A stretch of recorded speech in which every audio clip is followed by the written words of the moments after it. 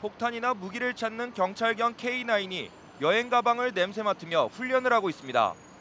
테러리스트의 위협을 받고 있는 LA 국제공항에는 현재 448명의 경찰이 배치돼 있습니다. 이 규모는 9.11 테러가 일어난 지난 2001년 당시보다 139명 증가한 것입니다. 지금 배치된 경찰관들은 테러 방지를 위한 특수 교육 과정을 이미 완료했습니다. As a result of 9/11, we created a critical infrastructure protection unit.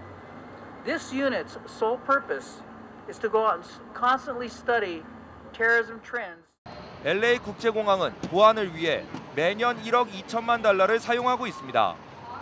지난 2001년 4,800만 달러를 사용한 것과 비교해 7,800만 달러 더 투입시키고 있는 것입니다.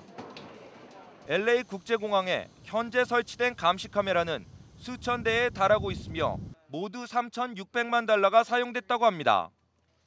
공항 전체를 모니터링할 수 있는 LA 중앙 감시 센터에는 수백 개의 모니터가 설치돼 수상한 사람을 발견할 경우 경찰에 즉시 연락할 수 있는 시스템을 갖추고 있습니다. LAX에는 약 3천여 명의 연방교통 안정청 직원, 즉 TSA 직원이 배치돼 있어 여행객들을 가방은 물론 모든 화물의 폭탄과 같은 테러 위험 물질 유무 검사를 책임지고 있습니다.